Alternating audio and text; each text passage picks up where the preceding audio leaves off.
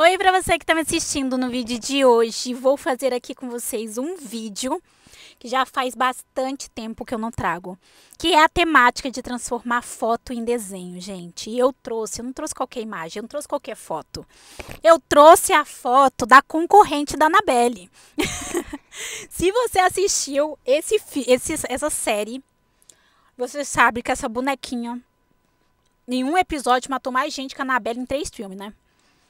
Gente, virou um meme muito grande. O povo fez meme dela com o Chuck, com a Annabelle. Pegaram discussões clássicas, sabe? Eu achei sensacional. Então, o que, que eu vou fazer? Eu não vou transformar toda a foto em desenho. Eu vou pegar esses dois, que são soldadinhos, né? E a boneca. Eu vou transformar em desenho. A gente vai ver como que vai fazer. Primeira coisa que eu fui fazendo são os detalhes. Então, eu peguei tênis, cinto, sabe? Tudo assim, pra gente ter esse controle. E tô pintando. Tô usando caneta de feltro macia, mas vocês também podem usar o caneta de tinta macia também, que é bem legal. O acabamento é bom. Só que o acabamento do, do caneta de tinta, ele é um pouquinho mais esfumado, sabe? Esse aqui é um pouco mais pixelado. Quando eu transformo foto em desenho, eu gosto de foto no estilo flat. Então eu pego toda, né, toda a aparência, cor e a gente associa o que é através disso. É um estilo chamado ilustração flat. Eu gosto bastante. É bem, é bem simples e eu acho que dá um resultado único, sabe? E eu simplesmente não consigo parar de pensar nessa série. Eu acho que eu e a torcida do Flamengo, né? Porque Tá todo mundo falando dessa série. Toda hora que a gente olha, a gente tá vendo memes, às vezes o povo falando, críticas, né? Algumas pessoas gostaram, outras pessoas não. Eu sei que, gente, as mortes que teve nesse. Tipo, as pessoas que se foram nessa série, sei lá. Mexeu muito comigo, assim, porque eram umas histórias fortes, pessoas que eu falava, não, vai ganhar, vai ganhar, vai dar certo, não ia. Teve uma reviravolta, né? Todo mundo sabe. Provavelmente você já teve spoiler, né? Porque o povo tá fazendo muito spoiler do velhinho lá. E eu gostei bastante. Eu achei o protagonista. Eu, eu gostei do protagonista. É que eu acho que. Eu vou falar aqui pra vocês. Se vocês não assistiram, cuidado com o spoiler, hein? Dá aquela pulada, ó. Vou dar tempo pra vocês pular essa parte aqui. Mas o que acontece? Eu vou falar para vocês o que me incomodou, que da última vez vocês perguntaram, falaram, ah, eu assisti, você podia ter falado, então eu vou falar aqui, tá? O que aconteceu? O ator principal, né, o personagem principal, no começo a gente tem é, contato com a vida dele, para até para entender a saga da vida dele, né? E ele tinha problemas com o jogo, a mãe dele dá dinheiro para ele, para ele fornecer um dia legal para a filha dele, ele pega esse dinheiro, aposta, tem todo esse rolê. E aí o que que acontece? Ele prometeu para a mãe dele que cuidaria da filha. Ele prometeu para a menina que, que criaria o irmão dela.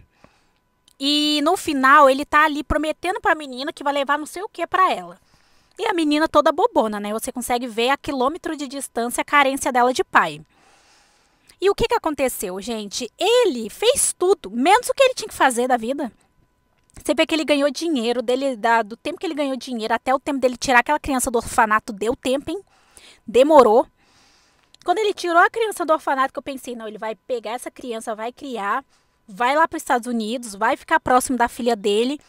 Ele praticamente deu a criança para a senhora e deixou uma mala cheia de dinheiro para ela criar a criança, mas não foi essa a promessa. e também tem outra questão, que foi a questão também que eu achei que no final, igual eu falei para vocês, ele estava falando no telefone indo para os Estados Unidos para ver a filha dele. Chegou ali, aconteceu um certo fato que vocês sabem o que é, e ele deu a meia volta e tipo assim, acabou e provavelmente vai ter segunda temporada. Mas e a promessa da filha? Sabe assim? E a promessa que ele fez para a mãe? Eu não, não sei, gente. Para mim, ele abriu mão de, de coisa que ele tinha que fazer para se meter em coisa que não é problema dele. Não é que não é, ai, problema dele. Ele sabe a sacanagem que está sendo feita ali, mas sei lá, ele poderia ter ido, encontrado alguém competente para ir atrás disso, sabe? Igual aquele cara lá que era o intruso. Porque ele é, sabe, mais perdido do que segue em tiroteio.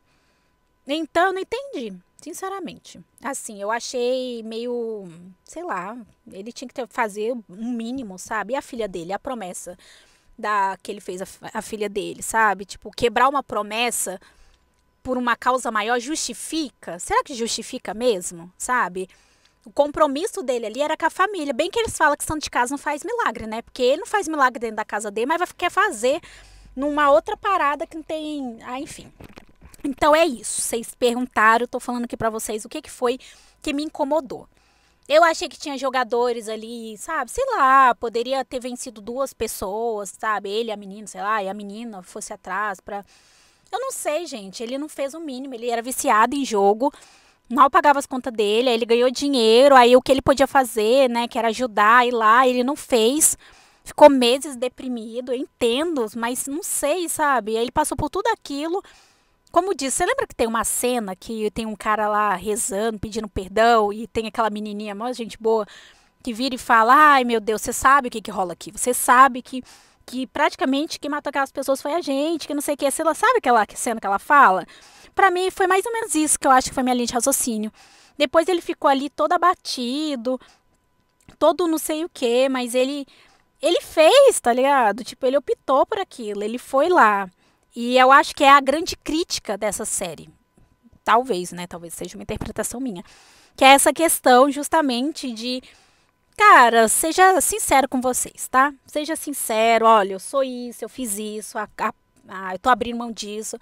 Eu, eu adoro gente sim, que, que, que desce pro play. Pra mim, não desceu pro play. Ele ficou no 880, sabe? E no final das contas, eu não, eu não entendi ele falando ali com a filha dele. Olha, filha, não sei o quê. Dá meia volta, gente, é a menina. Responsabilidade afetiva com a filha dele não tem nenhuma. Então isso me estressou um pouquinho, mas ninguém liga para essas coisas. É um tipo de coisa que só eu percebo em filme, só eu percebo em série. Ninguém, ninguém tipo, tá nem aí, sabe? Dane-se o sentimento da menina.